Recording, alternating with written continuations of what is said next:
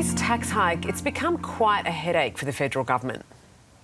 Well, I think it's a, a, modest proposal and it's been turned into the end of the world in the sort of stories that are out there today. The difference we've got here is, a, is hyper stupidity in the media and some of the stories that we've seen that have beaten it up uh, to the point that it's not even recognisable as the original proposal. Hello, I'm Paul Barry. Welcome to Media Watch and welcome to a super fuss about your super, which has many in the media outraged on your behalf. Super, super betrayal. PM super dupe. Supersized backflip. The superannuation tax changes proposed by Labor won't take effect until 2025, and they'll only go ahead if voters re-elect this government. But that didn't stop TV and the tabloids branding it a broken promise and a breach of trust. And somehow the changes became an attack on all Australians, even though they will initially affect only 80,000 taxpayers who have more than $3 million in their super funds. As the PM explained, 99.5% of people with superannuation are unaffected by this reform. Among the 0.5% who are, one mystery Australian with $544 million in super, 17 with over 100 million, 7,000 over 10, and 30,000 above $5 million. None of that context was enough to calm the media hue and cry or stop the scare about what the government will target next, which the Herald Sun's Terry McCrann suggested could be a tax on family homes.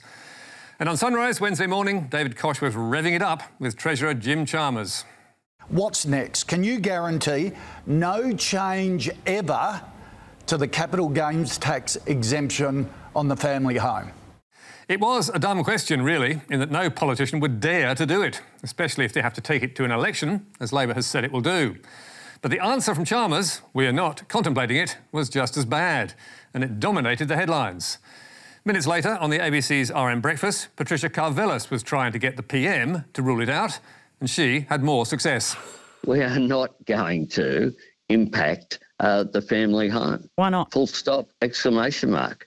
Because it's a bad idea. But that didn't stop Sky News, news.com.au, and the Daily Mail expressing glee and outrage at the Treasurer's failure to promise your home is safe.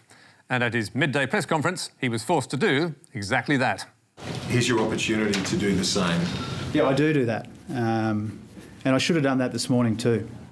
It was dumb of Chalmers not to dismiss it in the first place, but tiresome of the media to go for the gotcha and then, with help from the coalition, pump up the Treasurer and PM's differing responses into a story of the two men at war. Meanwhile, the Australian was declaring another war was coming between the classes. Albanese launches class war fight with Dutton over retirement savings. On Wednesday, the Australian's front page had five negative stories about the proposed super changes including one with wealth manager John Abernethy saying it was unfair to victimise the poor over 60s. I don't think $3 million is a lot of money. If you've got someone who has put all of their money into super, doesn't own their own home, and is renting, this person will be seriously stuffed by this sort of change. Really? So, how many people with $3 million in super are so stuffed they don't own their own home? Not many, I'd guess and certainly not retiree Malcolm Clyde, a former lobbyist for self-managed super, who complained to The Australian. During my working life, I gave up on buying a nicer car, going overseas on holidays, and put that money into super. I was contributing on the promise by the government that those funds would be concessionally taxed. They're going back on that promise. In fact, the generous tax breaks that helped Clyde build his nest egg are his for keeps, even if the tax rate on his earnings may increase. And it seems he didn't sacrifice everything for super. Clyde and his wife recently sold their iconic Mosman apartment with exquisite interiors, lush manicured gardens and swimming pool tiled in Spanish glass mosaic for $7 million. He also recently sold his sailing yacht, seen here on a good breeze on Sydney Harbour. Clyde told Media Watch he's not upset about the increased tax, but that piecemeal changes like this, aimed at the top end of town, fail to address the need for broader reforms. However, even after the changes, retirees like him would pay less tax than the average wage earner. Earnings on the first $1.7 million of their super would still be tax-free, and they'd pay only 6.5% on earnings from the first $3 million. So it's a bit hard to claim they will be hard done by or paying more than their fair share. As the CEO of National Australia Bank told the ABC on Friday. I think $3 million is a lot of money, and at 4% return on that, I'm pretty sure after tax somebody could live on 120,000. It's not a bad sum of money. And it's even harder to take this sort of headline seriously. It's ridiculous. Billionaire John Gandel slams super tax change. Yep, it's ridiculous, all right. The Age and Sydney Morning Herald headlining a billionaire developer's dislike of the proposal.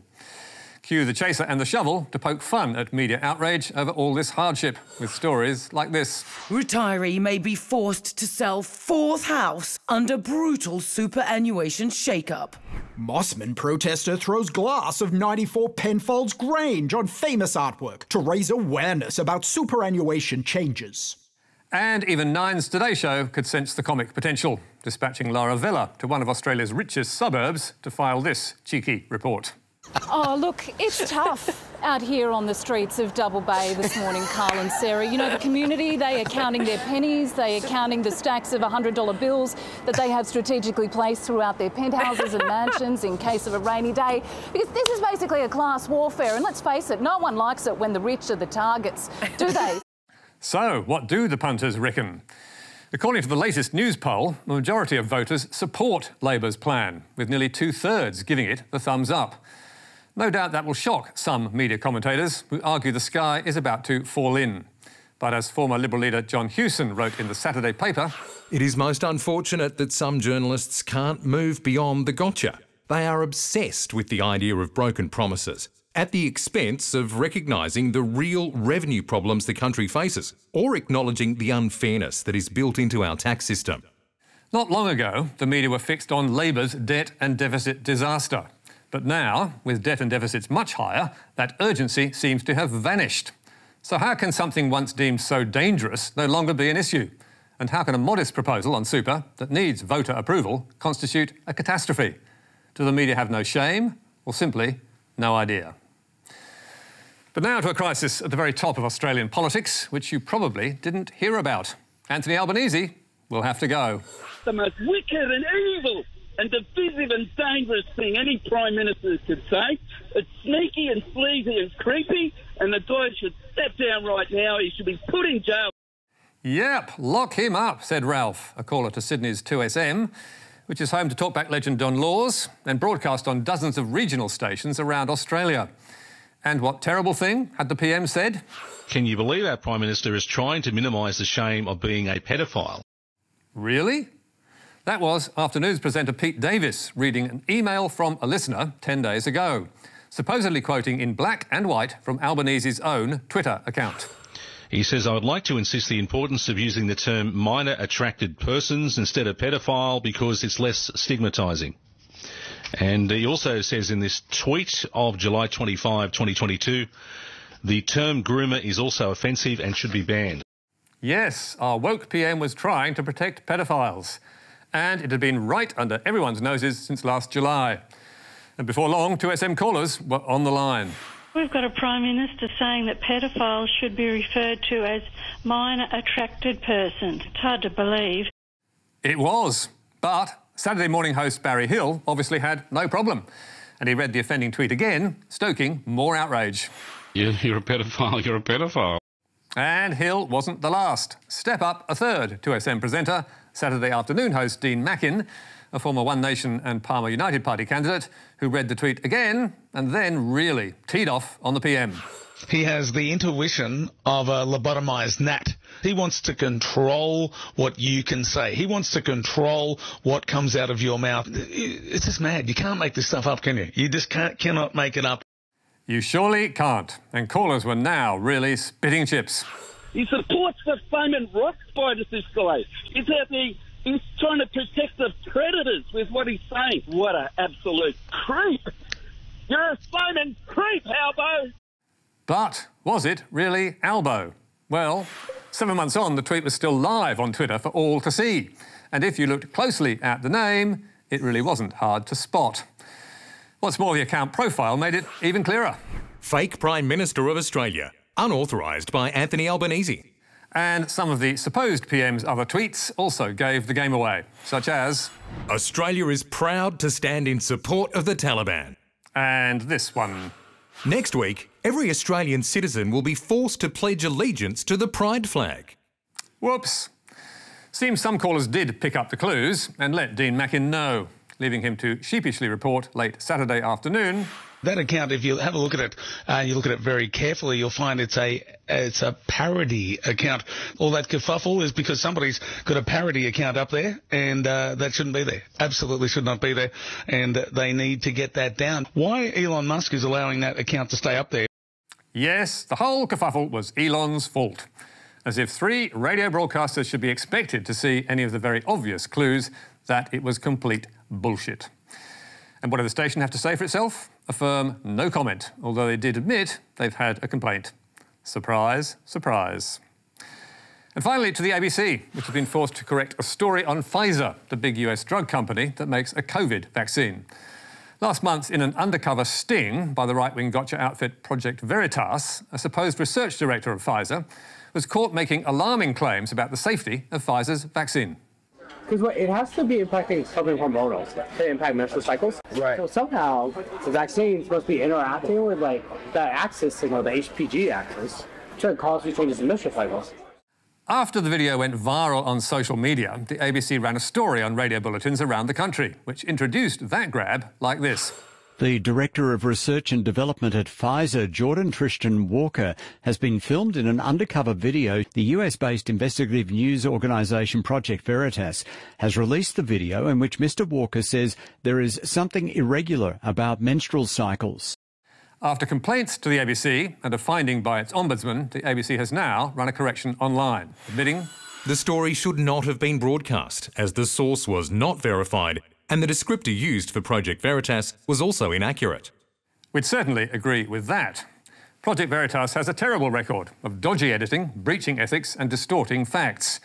Jordan Walker is almost certainly not the research director of Pfizer, and the video is so heavily edited you can't be sure he's not been taken wildly out of context.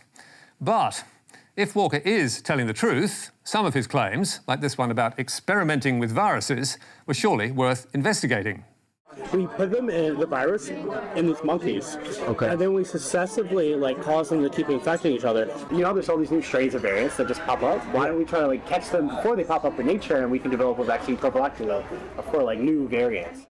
So, did Pfizer reply that those claims were nonsense? Not exactly. After Project Veritas put the video out on Twitter and got 49 million views, Pfizer issued a statement to say In a limited number of cases, when a full virus does not contain any known gain of function mutations, such virus may be engineered to enable the assessment of antiviral activity in cells. So, how did journalists react to this story? Most on the left simply ignored it, or ran with all the reasons why Project Veritas could not be trusted. Some on the right, like Fox's Tucker Carlson, shouted it from the rooftops and drew all sorts of crazy conclusions. And the Australian split the difference by giving it a front page plug that pointed to an op ed by Adam Creighton, which said that even if the claims made by Walker were totally false, the fact tens of millions of people had seen them and Pfizer itself hadn't denied his employment surely warranted at least a short article or two. And we reckon that's right. Because one thing Pfizer has still not done is to say that Walker is not the Director of Research and that he does not work for them. And you really have to ask why. Surely it's also worth drilling into Pfizer's statement to figure out exactly what it means. As far as we can see, the only media organisation to have done that properly is Associated Press, who fact checked the story, talked to experts, and concluded Pfizer was not doing anything alarming. That verdict, incidentally, is backed up by people we have spoken to including the ANU's Dr. Gaetan Burgio, an expert in infectious diseases. And what does he have to say about Walker? Well, Walker does appear to be a real person and have a medical degree. But according to Dr. Burgio, he is very confused. Walker's conflation of directed evolution with gain of function research is astonishing, and to be frank, gobsmacking for an allegedly R&D Pfizer senior executive. Net result, you could say, there is no story. So why bother? But we believe the media should at least have asked the question and checked whether Walker's claims had any merit, if only to debunk viral fake news that 49 million people may have lapped up. Allowing claims like that to sit there, unchecked and unchallenged, just helps to give them life. That's all from us for tonight. You can read a full statement from Gaetan Burgio on our website. And don't forget, Media Bites, Thursdays on Facebook, YouTube, and iView. But for now, till next week, goodbye.